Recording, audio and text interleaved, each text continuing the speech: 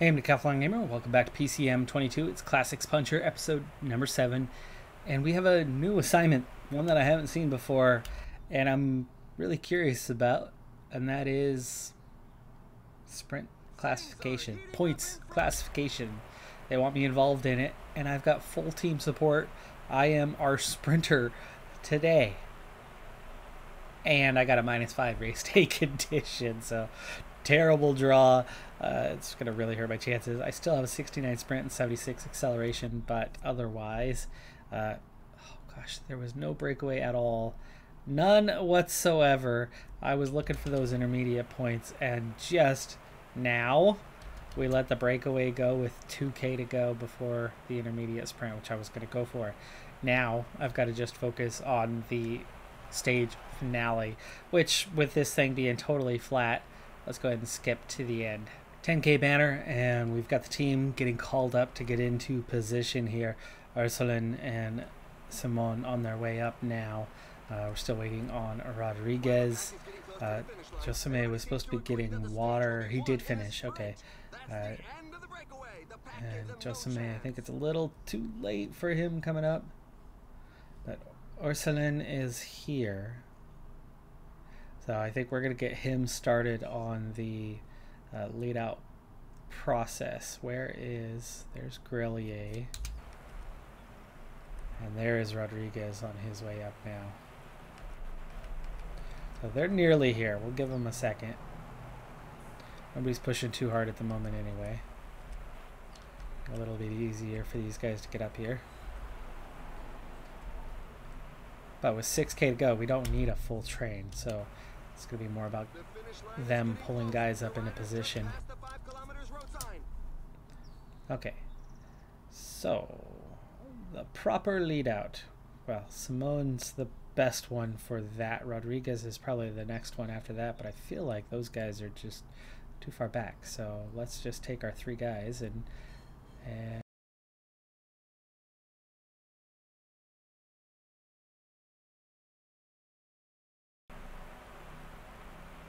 Okay, starting his sprint. Lead out train coming a little bit late to the party, but I need it to be a little bit late to the party because I have, you'll see why here in just a second. I have this, right? That minus five race day condition. If you actually look down at it, look at that stamina resistance, a 60 today.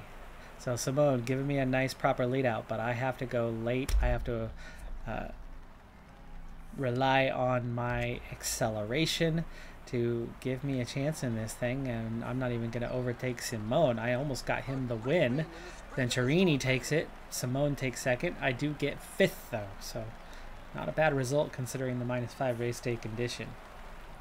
I've had some really poor luck. I had two days in a row with minus five draws, both days with expected zeros, and no reason to think anything besides that was going to be the outcome. Assignment was points classification, so they wanted me in the break, but today, even though I did finally get a plus one race day condition, I was at the very back of the peloton, so that by time I made it to the front of the peloton, 11 riders were well up the road. I went ahead and attacked anyway.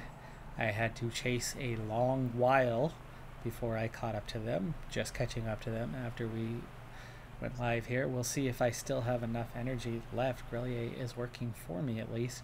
Uh, but they want points classification. This is the final stage of the tour. I got nothing on the last stage. I mean, I blew up badly and the whole group just attacked. So Grellier needs to uh, pull us back here and bring me on up towards the group without me dying in the process. Let's go ahead and get some water for the two of us while he does that. And let's go ahead and take turns as well. Make him work a little bit harder, please. We are still two minutes ahead of the peloton and one minute behind the group of 10. If we catch them, we've got a good chance of getting the points on offer here. Six points, but there's 25 at the finish, and it's up the Colombier. There's no way I'm going to be around for that one, so uh, I'm not a fan of how things are going. Once again, we have the descent coming though, so Grellier, just don't ditch me, don't ditch me, don't ditch me. There you go. Okay, two minutes ahead. Now he can work a little bit harder as I recover. 59 seconds. Come on. Pull me up there.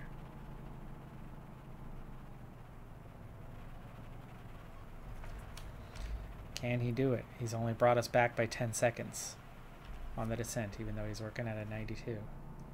Follow. Okay, closed that gap. A little bit of a hill, 42 seconds. Sprint, Grellier, lead me out. Not enough. Not enough. In fact, even though I was in contact with the back of the group, they didn't even count that, and Grellier rides on and leaves me in the dust.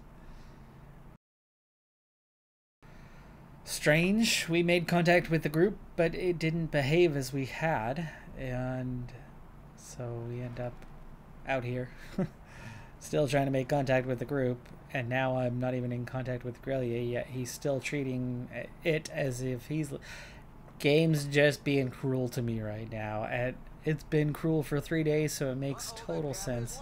Uh, things have just not gone. And somehow I, I still have control of other riders as well. Really? Well, that is strange. Rodriguez is well placed in the GC. Hopefully he can climb well on up the Galibier and uh, I'm not. I'm already out of energy as it is. I will not be climbing the next 20 20k to the finish and most of it's a climb. So I am in trouble on that part. Peloton coming here in just a moment. Uh, I'm just going to start to begin recovery. And now I have no control over teammates. That's odd. But hey, whatever. Whatever. This tour has not gone well. Next up, the Euros. In the German colors here for the first time, it's the Euros of course, we have teammate assignment as we are not yet an elite rider, but we made the team. I mean, that's amazing. It is a sprint, and then again, you know, we were able to take third in the nationals. So as we approach 100%, we're going to need a little more on top of that. Let's see, nine, nine additional. Just a couple KOA. I'd really like to start resting. we're not getting it in at the moment. There we go. And there you go. Okay, assignment done for the day. Can ride for ourselves now. It did come at the cost of some energy, but with 150k to go, there is plenty of time, and it was only a three-man break, giving given a pretty healthy lead, so it was not that hard of a ride through there. It was just the extra expended energy. But with the plus five race day condition, the stamina resistance effect of that is just about neutralized, and then the sprint part is greatly benefited with a 73.80. Not good enough to win. I mean, we're, we're not going to challenge for a win with those type of ratings and the best European riders, which is you know a majority of the best riders of the world, means that uh, yeah, we're we're not winning. But with this kind of plus five, which I was expected plus three today, by the way. And after back to back minus five draws, and then just plus one the next day, that minus nine combined, a plus two right now is well deserved. It could have been more than a plus two for all that, for all we know, but the plus three was expected. I started my fitness peak. There was only a couple days from the last race till this race, and then we had uh, an objective for this one. So now 67k to go. We are getting close to the end, and I'm just starting to get into that stage where it is going to impact my max remaining energy. So it's going to start to take a hit with 55k to go. Hopefully the pace isn't crazy so that we still have plenty to go at the finish line regardless of what happens on the stamina side, we are going to have what that 79 resistance. So it's it's gonna it's not gonna go down much. And yes, that red bar is staying pretty high up. 33k now. Two riders left in the break. Now just one. 15 second gap, and it's all over. We are set up for a sprint at the finish on this one. 28k to go. Nils Politt, the leader today.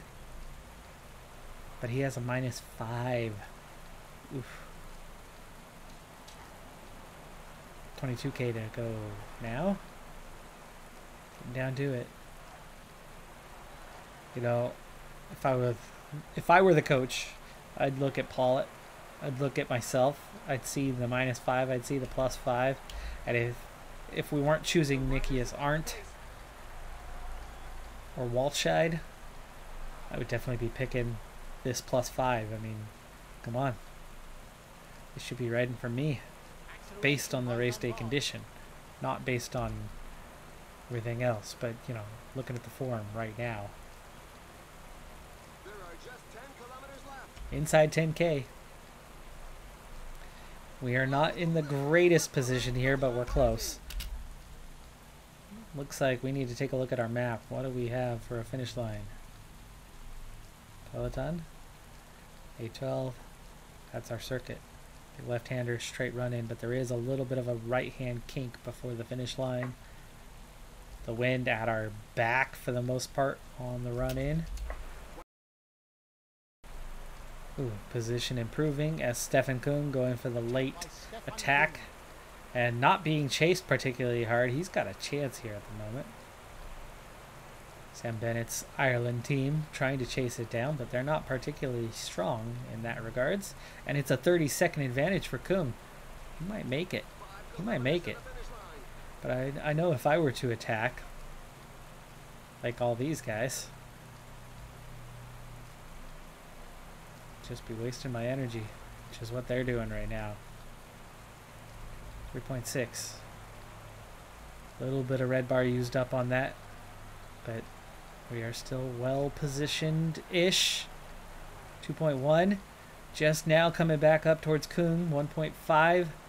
And a lot of the sprinters are going to be out of position here for this final run-in. Like myself, a little bit off, but this is a top 10.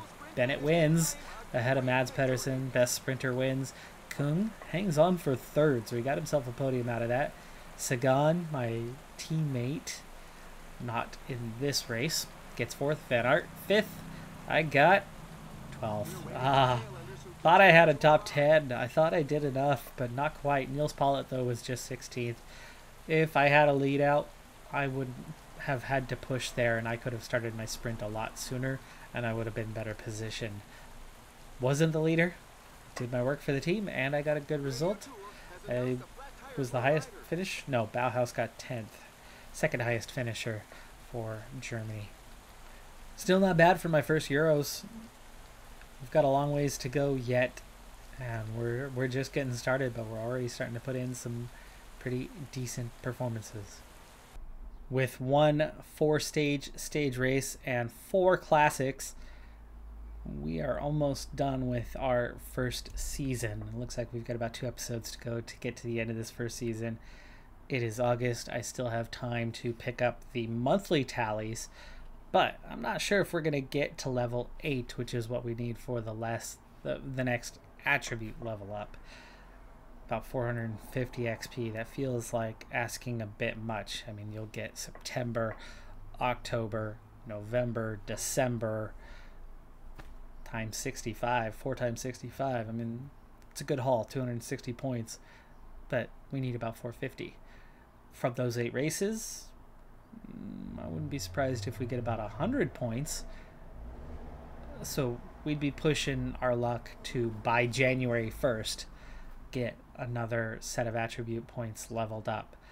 My guess is it's going to happen early next season, uh, probably in the month of January. Unless we're pull off a win, which, you know, looking at profiles, sprint, sprint, sprint, we're semi-capable there right now. There is a punchy one. So we at least have a little chance, but not much of a chance in the others. We could maybe get some top 10s, though. That could help. And maybe we can pull it off before January 1st. But it's definitely going to happen after the eight races, you would think. Meaning, where we're at right now is where we're going to be for the remainder of this year, theoretically and we're down to 78% because we didn't race for a month and a half so the manager doesn't like us anymore because they didn't select us that's their problem not mine but it's my problem because they didn't select me we've got a lot of work left to do, but hey, one season that has gone really well, and we'll continue to push on, but more to do. I'm hungry for more on this one. I can't wait to get to the point where we are picking up some wins. That's going to do it for this episode, though. I'm Decathlon Gamer. Like, comment, subscribe. I'll see you next time. If you haven't already and you want a key for PCM, hop on over to my Twitter where we're doing four key giveaway for the Tour de France. By this point, we'll have done at least one of those. I haven't decided what stages. I'm filming this a little over a week ahead of time as I'm on vacation at the moment that you're seeing this. I'll be back, uh, well, later today. For me, I have yet to go. Anyway, see you next time. Have a good one. Be safe out there. Bye for now.